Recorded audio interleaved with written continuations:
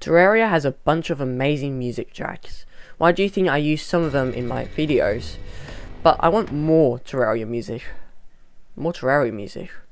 Why don't I go to the place where it all comes from? Terraria has 88 tracks, with 27 of them being from Terraria Otherworld. They range from fighting Moonlord to the first thing you hear upon booting up the game.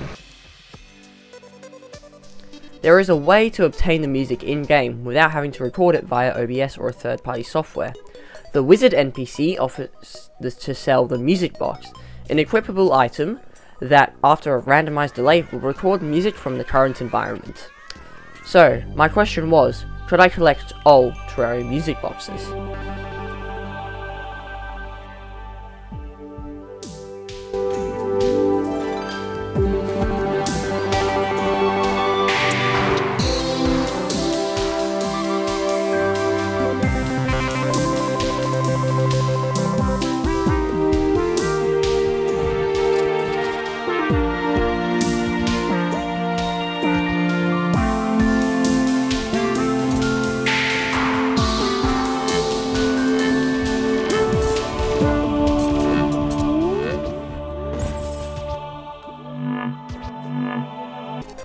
There are basically no rules in this challenge, just some basic world info. This is a medium-sized world, Crimson World Evil on classic difficulty. After modeling my character and world after iconic music references, I started the run. Now, the challenge only starts in hard mode as the wizard, who we buy our music boxes from, only spawns in the cavern layer after entering hard mode. So let's quickly run through what I did in pre-hard mode. I Chop a tree, explore, accidentally summon the Eye of Cthulhu, kick its ass. Purposefully summon the Brain of Cthulhu, kick its ass. The goblins come past, I send them packing. I summon Skeletron, I kick its ass. I obtain the Mamasura. I set up an ice and jungle pylon and accidentally summon Queen Bee. I summon the Eye of Cthulhu to regain some health, which leads to this funny moment where I've got two bosses after me, but my ass gets handed to me. I make a Elevator. I set up a Hell Pylon and mine Hellstone. I craft the Night's Edge, find Shimmer, build the ugliest housing units you will ever see, and completely over-prepare for the Wall of Flesh. I set up a reusable Guide Sacrificer and murderate the Wall of Flesh. I break altars, gaining Palladium, Mithril, and Titanium. I decimate the underground looking for hard mode ores and find Mr. Wizard. Now is when our challenge really begins. After noticing that the music box costs 10 gold, I realized that I would need 10 gold per music box, plus the extras for the title music boxes, which I will cover in a second. I would need 1,190 gold coins, or just under 12 platinum. I would also need extra money for reforging, healing at a nurse, and buying extra music boxes for the guaranteed mistakes I will make. So, faced with increasing financial issues, I decided to make an AFK farm.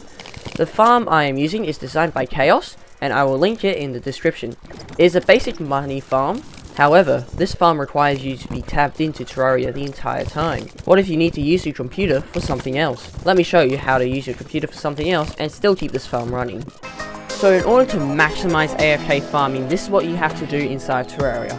First off, load up a multiplayer map. Make sure you cl click host and play. This might not work if you're on console, I have no idea what happens click on your little character here and select your world. Make sure if you want your friends to come in, keep this on, but if you don't want anyone to come in, just disable it. Make your password. It's a nice password there, you should do it. And then once it starts up the server, you head over to your farm and activate the switch and now you can do whatever you want. Now, by going into settings, video, go window, as long as you have borderless window innate disabled, you are able to do whatever you want. You can minimize this game and go do something else while this runs in the background. Now there are there are mods to do this, however this is the best way to AFK farm. As you can see behind the main menu, all the enemies are still going in and they are still dying. Also, adding a shadow candle will remove the spawn requirements for enemies, so by turning this into a hallowed biome, you can AFK farm the Rod of Discord. After 10 minutes of farming, I managed to get 88 gold, a hollow key, some beam swords, magic quivers, a metal detector, mimic drops, and some lovely apple pies, as well as 107 souls of light. This farm is fast. I managed to obtain several rods of discord, several hollow keys, and plenty of money to completely pay back the Goblin Tinkerer's several houses' mortgages. Overall, of the 27 hours I spent on this challenge, probably 6 or 7 of them were spent sitting at this farm. After a quick farming session, I decided to go after my first music box. I placed an ungodly amount of torches and summoned the Torch God. I freaking suck at Terraria. Luckily, I still had to collect the otherworldly music for the fight. I nearly sucked hard, but I managed to clutch out the win. Then I decided to grab some Souls of Flight for a pair of wings. But I had to ask, what wings did I want? Did I want to farm harpies for the for feathers, hoping to get a giant harpy feather, or fight ice golems and get an ice feather? However, I decided to obtain the most manly, most alluring, and most boisterous set of wings ever. The damn fairy wings. And I gotta say, they fit me pretty nicely. Joking aside though, soon after that, I had a feeling that this was going to be a terrible night. The twins spawned and were ready to kill, however, they were no match for my Onyx Blaster. Get out of here, get out of here! Please, please, I'm, I'm begging you, please leave. Woo! That was close. I collected my spoils and placed my two Boss 2 music boxes. I also crafted an excellent weapon. Excalibur time. Then I decided to go on a major music collection spree, collecting a lot of different music tracks. The reason why I need double ups of several music boxes is because of the title screen. Since you cannot bring a music box into the title, Terraria allows you to craft the music boxes, using several from the volume the title is in. After collecting these boxes, I have summoned and defeat the Destroyer twice, not after I lost all my NPCs in the classic Destroyer fashion. At this point I summoned Queen Slime just because she had a unique music box that I needed, and then I summoned Skeletron Prime and destroyed him, making the jungle feel restless. After quickly reforging my true Night's Edge and true Excalibur, thank you Goblin, I dug out an arena to fight Plantera. No Os tunnel needed, just pure skill with my true Night's Edge. I did an epic gamer mowing session to get all my chlorophyte and did not use any life fruits. I didn't want to use turtle armor or life fruits because I usually use them in my normal runs, and I should be able to beat Moonlord with 400 health on classic mode. I beat Moonlord third try on my first master mode run, after bombing out a large area and definitely raising suspicion from the amount of dynamite I purchased, I summoned the mother of all plants and got her amazing music and murdered her. Before going on, it would mean a lot to me if you subscribed. In December of this year, I will kill one Master Mode boss per subscriber I have, so claim your boss today. After entering the Jungle Temple and leaving, unwillingly, I summoned the solar eclipse with only several in-game hours left in the day. Luckily, I managed to get a Mothron fast and it drops the Broken Hero Sword on the first try. I craft... I said I craft the Terra Blade and hide. While setting my farm up, I realized I got pretty much everything of value from the solar eclipse. And with it only lasting several in-game hours, I got really lucky.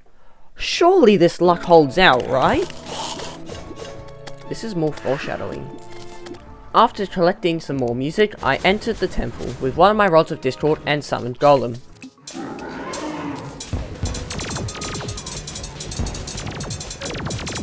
I don't know what you mean, I did not just die to Golem on Classic. Wait, wait, wait, wrong clip, sorry. I beat him on my first try and took my Picksaw. I tried to fight him again, but while I was trying to heal, a Arapaima removed me from Strawberry Fields. I did not die to Golem, but to a stupid fish. Arapaima After creating a graveyard, I spread the corruption to the surface and collect the music. And create an underground corruption, collect the music and clean it up. I decide to find the lunatic cultist while I'm there.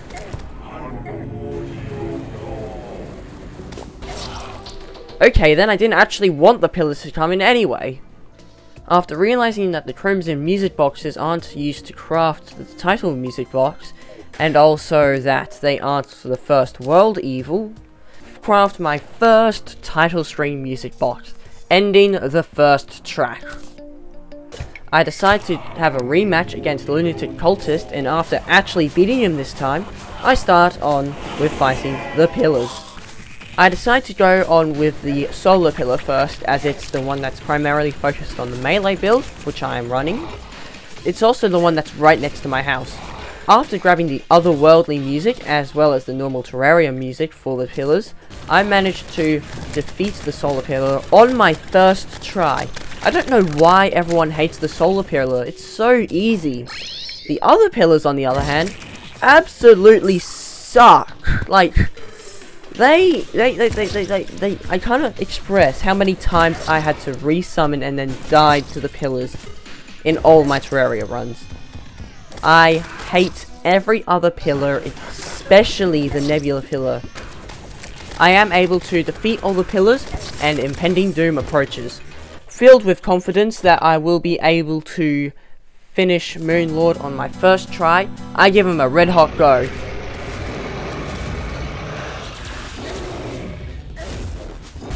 And I lose, because I suck at Terraria. I could have summoned Moonlord one more time, but no, instead I craft one of my favourite hooks, the Lunar Hook. Which means I have to beat the pillars. Again. Okay, fine, I didn't want the pillars to come back anyway. A, a Blood Moon spawns, and I decide to try and farm up a pirate map, which I get and I use.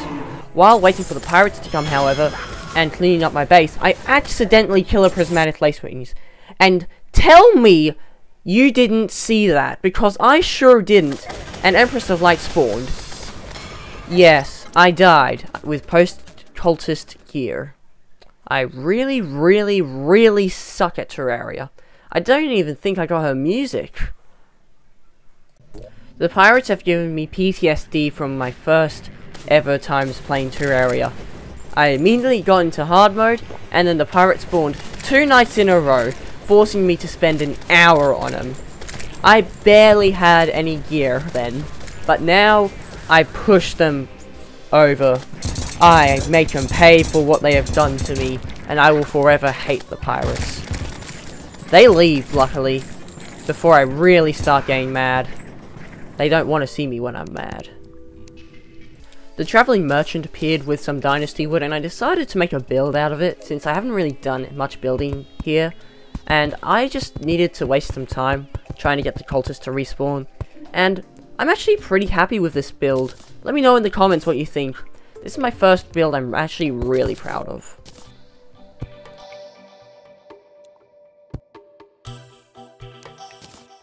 While on the way to fight the lunatic cultist again, a mushroom probe spawns, I snatch the opportunity and fight the Martians.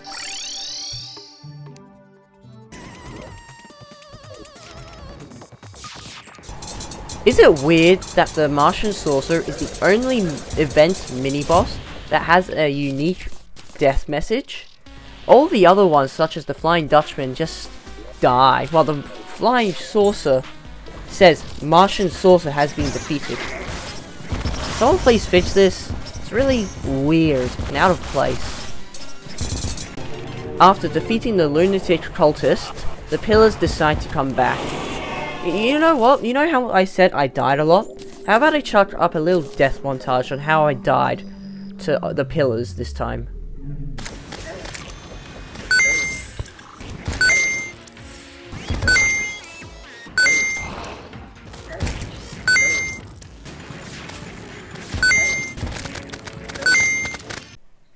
Seven deaths to the classic mode pillars.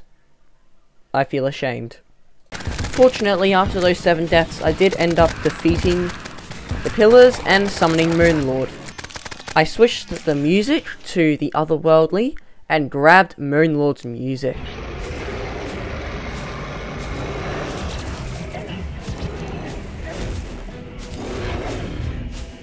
After one of the most chaotic fights you will ever see, I died. Again. To Moonlord. On Classic. Why did I only want to go into this with, like, minimal gear? I quickly decimate Skeletron Prime for his soul, and summon the Frost Moon, which allows me to get yet another music box.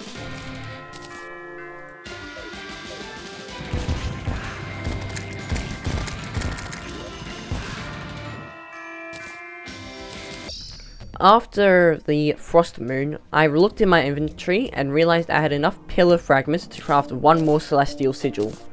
Before I could use it though, slime started falling from the sky. I dropped everything and grabbed a music box from the musician. No, wait, run mod. I grabbed a music box from the wizard and grabbed the slime rain music. I was so lucky that I had this because it only has an 8% chance to occur at any morning at the beginning of hard mode. Or during hard mode, I should say. I was worried I would have to sleep for hours, like real life hours, to get this. So, luckily, I got it. King Slime, oh, wait, wait, wait, no, never mind. I was going to mention King Slime, but he's dead already, so no need to mention him. What I will mention is that I died to Moonlord again. Wait, this is coming a recurring theme. I decided stuff trying to make this hard. I wanted this to be done with. So I upgraded my armor to beetle armor, but still did not consume a single life fruit. Because this was getting repetitive and I wanted to kill Moonlord already and get on with late game. At this point, I needed yet more Moonlord summons. So I defeated the cultist, but you already know everything that happens beyond there, so I don't need to bore you again. Oh hey look, Moonlord's just about to summon. And, spoiler, I actually defeat him this time. This is like attempt number 5. But I actually managed to defeat Moonlord and get to the credits. I hastily equip my music box because I thought that this is the only time you can get the credits, as the credits only show up once. However, after doing some more research afterwards, I realized that you could just purchase it from the princess but that means I'd have to get the truffle. I do not want to go and have to get the truffle. Luckily I didn't, and I recorded it right here. Now with Post Moonlord gear, I should be able to swiftly get the rest of the music. Until I spent over 22 platinum reforging my Daybreak and Solar Eruption, and missed several godly modifiers, which is the best possible modifier for these weapons. I fished up Duke Fishron, and for some reason the first music box came really easily, but the second one took an unusually long time to get. After getting the second music box, I was pretty close to defeating him, so I was sure that I could, especially on classic mode with post Moonlord gear. However, a Sharknado spawned on my face and killed me. Cheap death. I went to the snow, obtained the music, and created a Deerclop summon. I couldn't kill him fast, which is hard with post-manual gear. Fortunately, I obtained the music very quickly and killed Deerclops even quicker.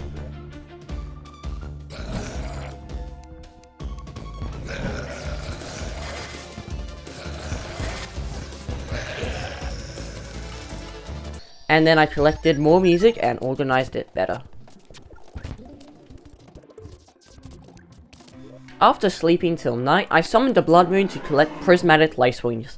Guess how many I got in one night? You have 5 seconds.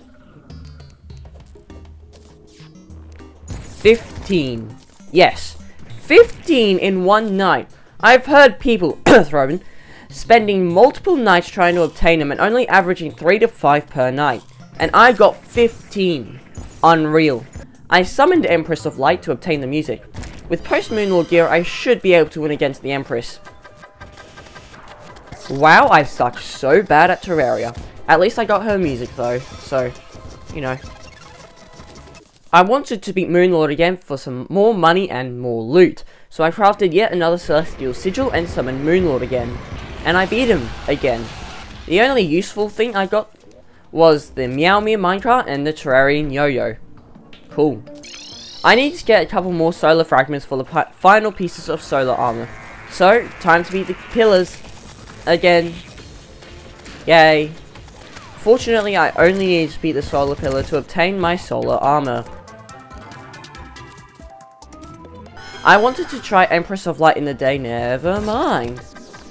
At this point, I crafted another music box. 1.4's Terraria title stream, Journey's Beginning. The second title music box is down. I cleaned up the pillars and Moonlord so that way I can pass the time. I got a Star Wrath. Okay weapon, but I still like the Meowmere better. I summoned the Pumpkin Moon for its music, and while fighting some pumpkins, I obtained the Horseman's Blade. Usually I hate this, but because I usually get it at this point in progression. However, after using it, I really like it now, at least in Classic. Homing pumpkins are really good for extra damage. At this point, I pulled up Notepad and wrote down all the music boxes I was yet to collect. I also sorted my music more. I summoned Moonlord again, and after beating him, I got my Meowmere. Let's go. I summoned the Pumpkin Moon again, because apparently I didn't get the Pumpkin Moon music last time. I actually got the music this time and finished the event. I started looking for the final musics for the old title, and I only needed tutorial slash morning rain. That was completely luck based, so while I waited for the rain, I summoned the old one's army to get its music. After collecting the music, I continued in the event, eventually reaching wave 7 with Betsy. After a long fight, the Old One's army proved victorious, but I still killed Betsy and got her wings. As I slept, I realized that it was raining in the morning. As I recorded the music, I got rain, not morning rain. I thought I may had to leave my village as village music overrides several other things like morning day. And luckily, when I did this, I got morning rain. After creating a graveyard, I combined my music and got alt title. This brings back memories as I started playing Terraria on an old gen console, where this title primarily plays. I wrote down the music that I needed to collect for the otherworldly track and started collecting and sorting and collecting. After sorting and writing down the boxes I had, I was left with these music boxes. Rain, Cavern, Mushrooms, Space, Snow, Surface and Underground Corruption, Underground Crimson, Ice, Underground Hallow, the music for Eye of Cthulhu, Old One's Army, and Plantera. Going around collecting the music in the world. I also needed the dungeon music, so I collected that as I was collecting my surface corruption. I just zipped around the world to all the biomes and collected their music.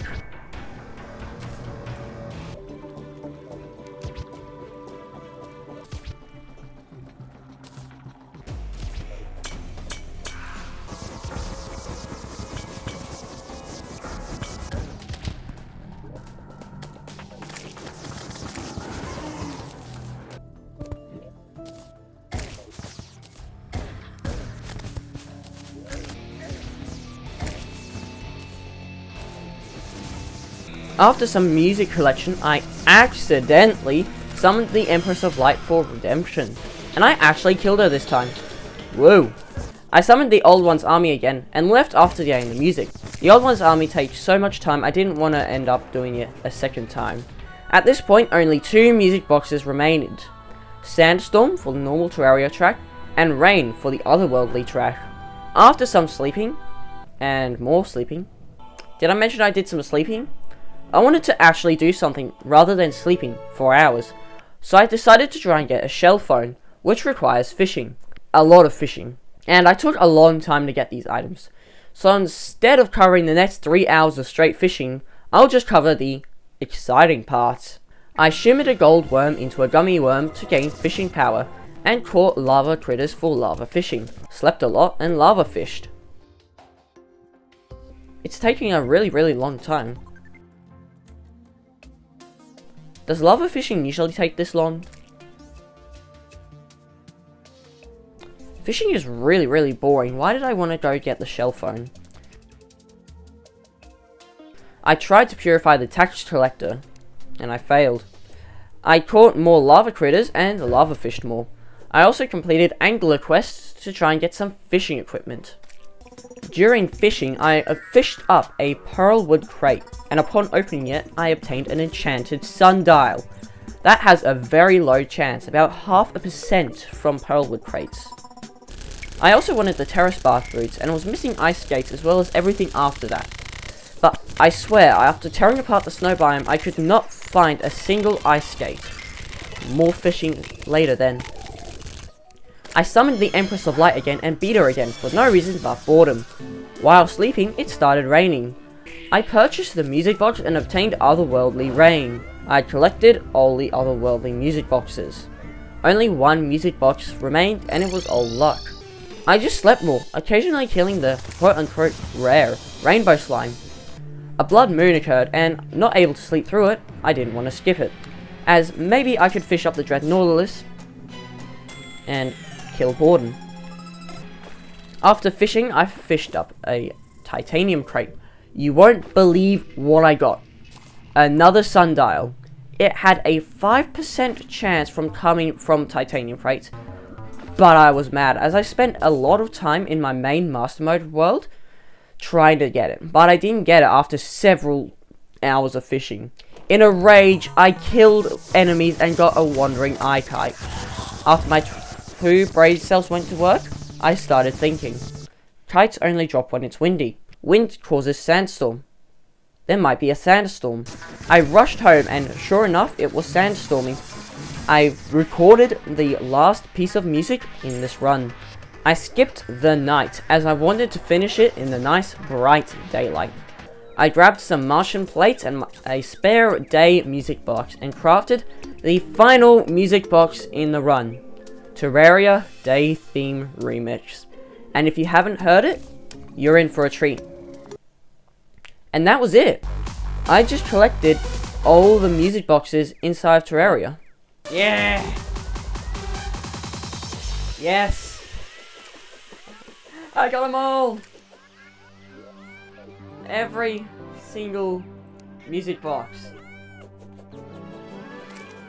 Yes. Mr. Wizard, you are freed from your duty. Just, just stay there. Just stay right there, Mr. Wizard. Do I recommend this? If you have patience or want something more from Terraria, or even want to chill, grabbing some music boxes out of your raid can be a really nice way to do it. Mr. Wizard, thank you so much for your contributions. But now it is time for you to leave. Settle down. I'm not Kevin. And that was it. After sacrificing the wizard to hell, I organized my music boxes one final time and took a nice screenshot. If you want more Terraria content, let me know.